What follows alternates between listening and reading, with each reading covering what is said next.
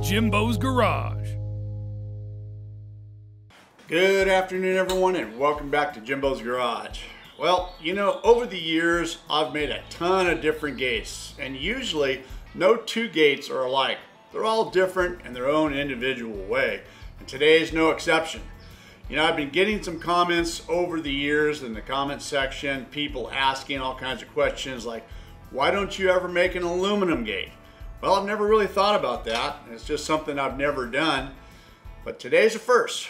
We're gonna make an all aluminum gate. Although it be small, only four feet wide and about four feet tall, but it's gonna be all aluminum all the way to the hinges, which are gonna be aluminum as well. We're gonna talk about, during the course of the build, I'm gonna talk about the advantages and disadvantages of having and building an aluminum gate. Should be a fun project. Let's get started on today's video. Today's video is sponsored by King Metals. They've got all your fabrication needs in one location. From hinges to hardware, balusters to metal decor, brass to aluminum, and a whole lot more.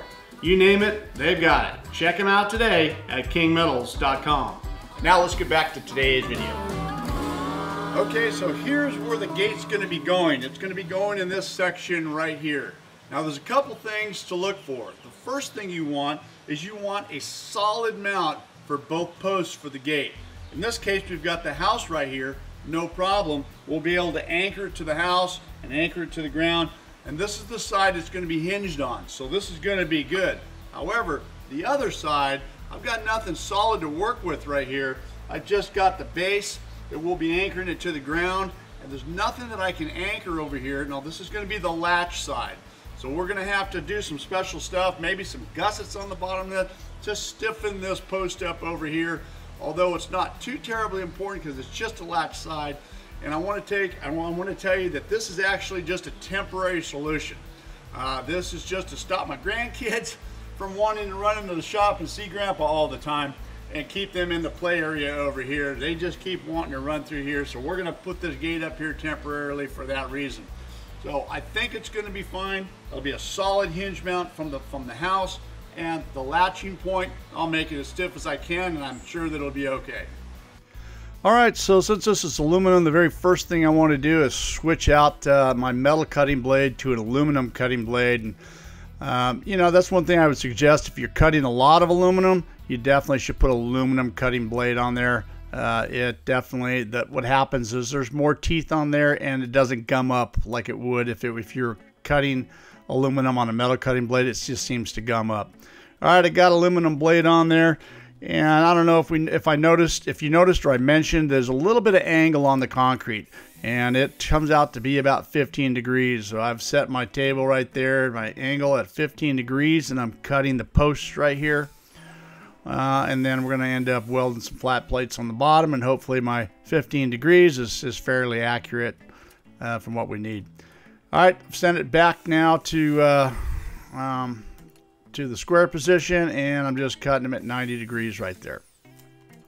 And this is the uh, quarter inch by four inch flat plate and this is what I'm going to be using for the bases and we're going to only need two and then I've got some inch and a half by quarter inch flat bar. I just happen to have this laying around and this is going to end up being the caps for the tops of the posts. Alright so if I want to drill out uh, the holes for the mounting and uh, they're going to be a little bit different here. So this is the uh, latch post. It's going to be kind of freestanding out there uh, I'm kind of hoping by just just mounting it by this, it's going to be strong enough, and I don't have to get into any kind of, any other modifications. So, four holes will mount the post in the center.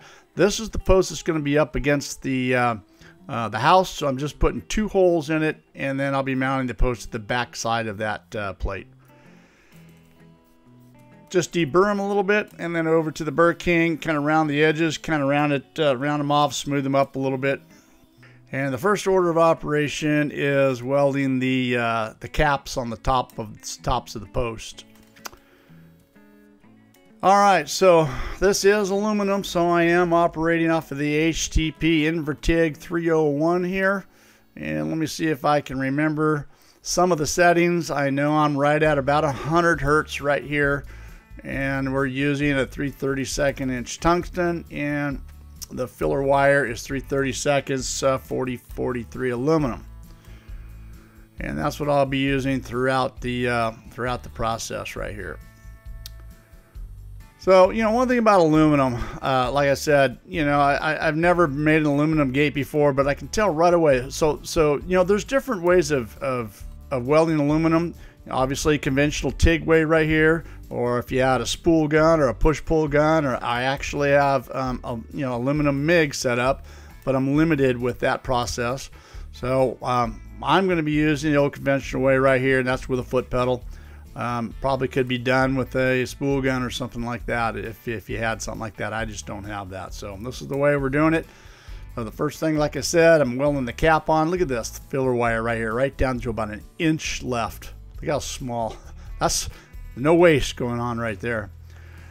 All right, and then these are the base plates right here. And so uh, one thing too that I noticed is, you know, since this is quarter inch material, the base plate and the tubes themselves are inch and a half by 120 wall thickness. So it takes a little bit. I'm just using straight argon, so it takes a little bit to preheat it a little bit to uh, get that uh, aluminum to start to puddle up a little bit before you introduce the filler wire. So I noticed that uh, during the build of this project that there was a lot of uh, uh, preheat going on in order to do that. Now I do have uh, different gas. I've got uh, helium, helium argon mix I use, and that works pretty good. Uh, I just didn't want to swap over uh, to that to that gas. this is just going to work out pretty good for me. All right, just finishing this up right here. And there we go. This is the one that the post is going to be at the very back right here. And you can see it just takes you a little bit to that preheat to get going a little bit before you can actually start welding.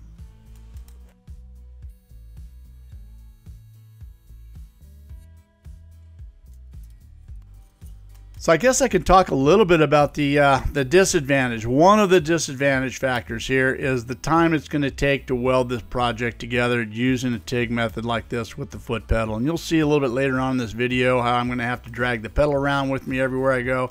And again, we can talk about different options as well. Some some torches have a push button on them, or you can have a slide switch installed. Um, I, I have a slide switch, but I don't have a push button, so uh, I'm just going to go with it uh, just like this. So I am going to grind this down. This is the top caps, and you can see a little bit of beeswax on the flap disc right there does wonders uh, from clogging up uh, the flap disc. That uh, works out really good and grinds aluminum really well. It's a little trick. Definitely beeswax works well. Now, I'm not getting too perfect with this. I'm just trying to uh, smooth it off since this is going to be the top of the gate, and one of them is going to be the latch side, so it, that latch is going to be right near the top. All right, into my new toolbox right there. And uh, I've got a Champion hole saw kit right here, and I'm drilling a one inch hole in. That's for the mounting purposes. Okay, so with my two posts made, before we can make measurements for the gate, we have to do a couple of things. We need to have two fixed surfaces, which I have the house right here as a solid surface, but what I don't have as a solid surface is this side over here. So therefore I've mounted this post right here, and I've got it plumb in both directions. So we have now a solid fixture on this side and we know that the house is solid. However, the house is out of plumb slightly. You can see that I made a little spacer on the back side of this post right here and it is going to be mounted right up against the bottom and right up against here. Now I've double checked it and when it is mounted in place like this it is in plumb in both directions. So with that we know that we're going to have a solid surface to be able to measure from so we can make accurate measurements for our gate. So what I have here now is 51 and a quarter inches from post to post, top and bottom, and 47 inches from the ground to the top of the post. So with that, we're going to go ahead and make our calculations and our adjustments so we can make our gate. Let's get started. All right, so now that we've got an idea about our gate, size and dimension, one thing I want to note, the reason why I did not mount the post up against the house is because we're going to have to weld the hinges on that post to be able to hang the gate. That is why that post did not get mounted to the house, but it got held up there. I know exactly where it's gonna go when it's mounted. That's how we made those dimensions. And again, once I said, that dimension was 51 and a quarter inches. So I make my adjustments, allowing 3 eighths of an inch gap for the hinge and 3 eighths of an inch gap for the latch. That brings us down to 50 and a half inches and the height was 47 inches. I'm gonna give two inches of gap on the bottom of the gate to 45. So 51 and a half, 50 and a half by 45. That's gonna be our gate size for inch and a half square tube frame, and then our pickets will go in the middle of that. So let's get these things cut up and get this gate finished. All right, so now that I got all my dimensions figured out, it's time to cut the frame. And again, this is inch and a half uh, square tube, 120 wall thickness. I got the saw set at 45 and I'm just down cutting all the pieces, the four pieces that I need to create uh, the frame of the gate. Well, I tell you that aluminum blade works wonders. Um, definitely, uh, definitely have one of those installed if you're doing a lot of aluminum cutting. All right, with the table dogs in place, it's time to start to put the frame together. And this is the way I like to do it. I like to get a perfect 90 degrees, clamp everything down, and then go ahead and get the frame put together. And once I do that, check for square. In this case, we're right on the money right here. And then I'm going to go ahead and start tacking this frame together. You notice I've got it clamped in every corner in every way, so uh, it's not going to move around. All right, so there's those two. You can see me picking up the pedal, and I got to move this around to the other side. Sure is a lot different. So it takes a lot more time to weld aluminum frames together. Another disadvantage is the cost. Now I got a comparison aluminum versus metal and aluminum was exactly twice as much as what the mild steel or the metal would have been to do this. So again, um, time disadvantage, you're talking about a lot of time to weld and put this together. And then cost. Cost is uh, twice as much. So I don't know that I'll be doing too many aluminum gates. but I had to try it. I had to do it once. So, um, so far, it's okay. Smaller gates, I guess, um, will be fine. I couldn't imagine building a big gate. Wow. All right, for the corners right here, I like to just to fuse it together. They're really a tight fit, so um, it worked out pretty good. I just fused that right on down, and that uh, that worked good for the corners. And for the inside corner, it's just going to set it up and clamp it down, and I'm just going to go all four corners just like this right here. You know, I gotta say, once uh, once I started going, I kind of got the hang of things a little bit. And just when you get the hang of things, this frame is going to be done, and you're beyond to something different. And uh, in this case, we'll be putting the pickets in. You'll see that here in a minute.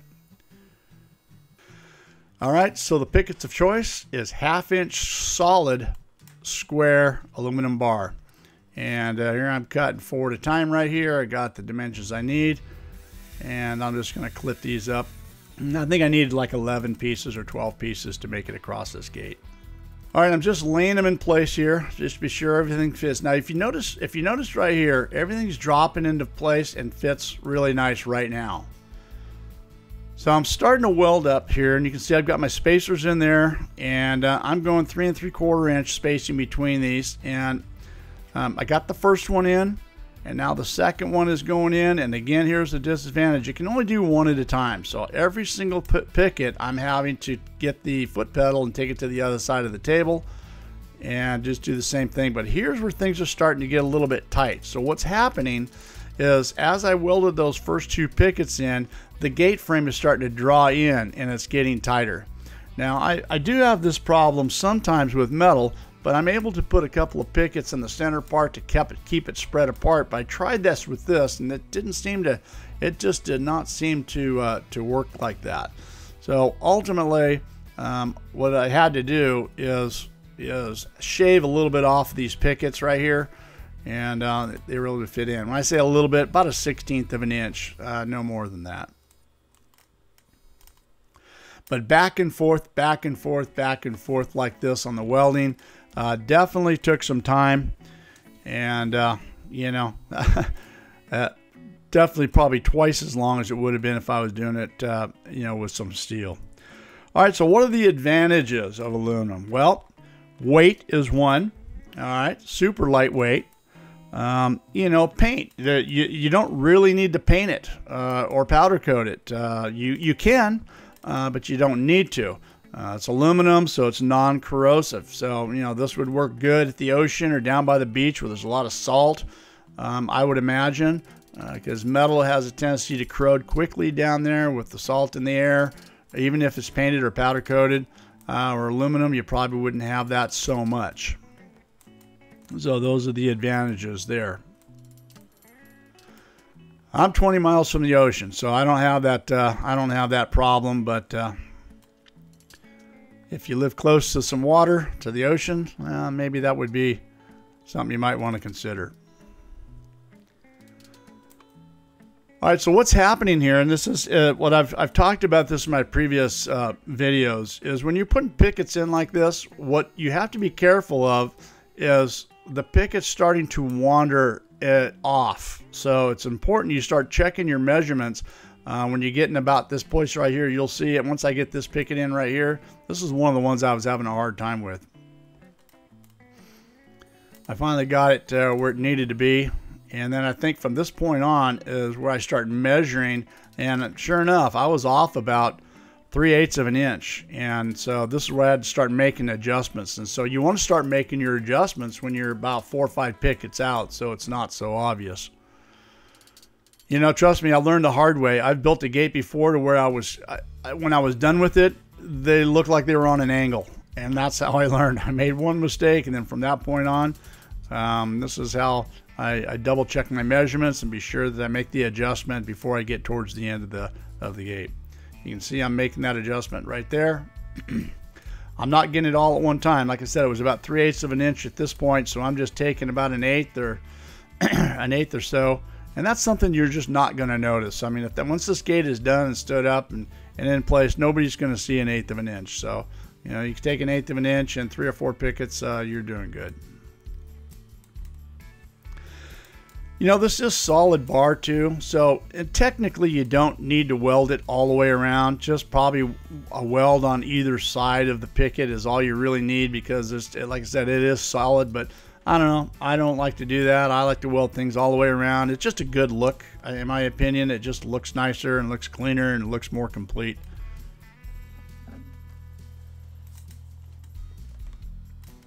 So I've got a little fold out stool, or a little swing out stool, if you will. I, I don't know. You know, I, I had a video on that uh, a couple years ago that I made. It's, it's attached to my welding table, and um, I use it's like my TIG welding station. You know, it's just what uh, I use when I'm TIG welding projects, but doesn't work all the time because it's stationary. It swings in and out, so it's really in one location. So here, what I'm doing is uh, it was good for a couple of them, and then I stood up and I'm working my way down. But ultimately, I think what I do is uh, I just clamp and just move it forward. You can see, you'll see me here. I'm flipping it around right here. And then I'm sitting down right here, and this is where I go ahead and I start and I move along, and then I think I just move the uh, move the, the the gate down to accommodate all that you know, as easy as you can get to do things, as comfortable as you can get when you're taking welding. At least for me, you know, I'm getting older, and and and you know, it's I like to be as comfortable and as steady as I possibly can. I also like to cut my filler rod. You see they come in 36 inches. I like to cut them in half. They're a little bit more manageable than that long 36 inch piece. Um, I've just something that I've always done. Still trying to master that uh, feeding the filler wire with your thumb and finger. I'm working on it. I'll get there eventually.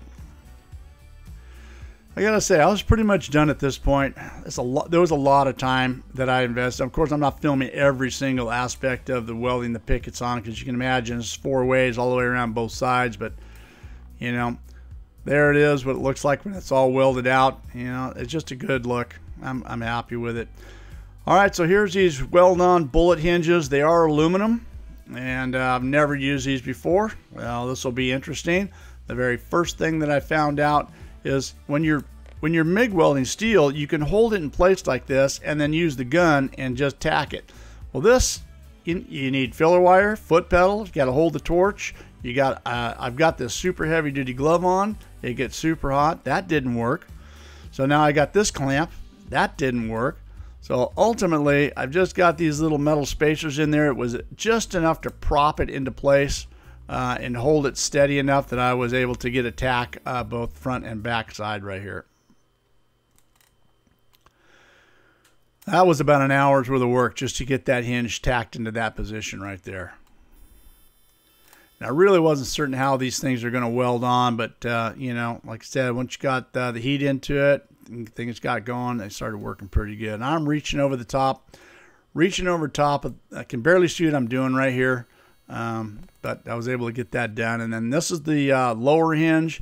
Again, I've got it propped up right here, uh, enough just to get it uh, straight enough to get a tack on it. Didn't take me that much time with this one once I figured out how uh, how to do it. All right, over the top. And there's the hinges. They're welded on. And they work pretty nice, pretty smooth. Everything is good. All right, this is just a simple latch. I'm putting this latch, I'm just uh, screwing it in with some self-tapping screws right here. It's zinc plated and I'm putting it right towards the very top. Nothing real pretty or fancy. Just it's got to be something for us adults to be able to easy open. This uh, gate gets used quite a bit uh, during the day, and so I just wanted to have something that was simple enough uh, that was going to work good. Again, this is just temporary for a year or so, and then it's probably going to come down. But uh, anyways, this was my experience of building an aluminum gate. It looks nice. It worked well. Um, I don't need to paint it. I probably won't. Uh, I'm just going to keep the aluminum look on there. And there it is. That post was able to stay strong enough. I didn't have to do any additional support to it. It's going to work fine. All right, I hope you guys enjoyed the video. Thanks for watching, and we'll see you on the next one. See you next time on Jimbo's Garage.